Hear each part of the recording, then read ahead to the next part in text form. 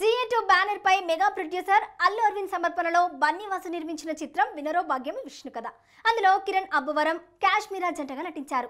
తిరుపతి నేపథ్యంలో సాగే విభిన్న కథాంశంతో ఈ సినిమాను రూపొందించారు. ఇటీవల రిలీజ్ చేసిన వినరో భాగ్యము విష్ణు కథ టీజర్ కొత్తగా ఉండడంతో మూవీపై పాజిటివ్ టాక్ ఉంది. ప్రజెంట్ మూవీ తీయడం ఒక ఎత్తు అయితే ఆ మూవీని జనాల్లోకి తీసుకెళ్ళడం మరో ఎత్తు.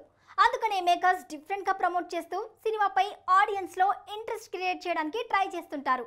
వినరో భాగ్యము విష్ణు కథ మేకర్స్. సెకండ్ సింగిల్ని డిఫరెంట్గా రిలీజ్ చేశారు. ఈ చిత్ర బృందం గుంటూరు కాలేజ్లో క్రికెట్ మ్యాచ్ నిర్వహించారు.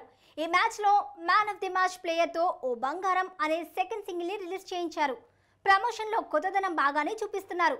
మరి కథలో కొత్తదనం ఉందో లేదో తెలియాలంటే ఫిబ్రవరి పదిహేడు వరకు ఆగాల్సిందే.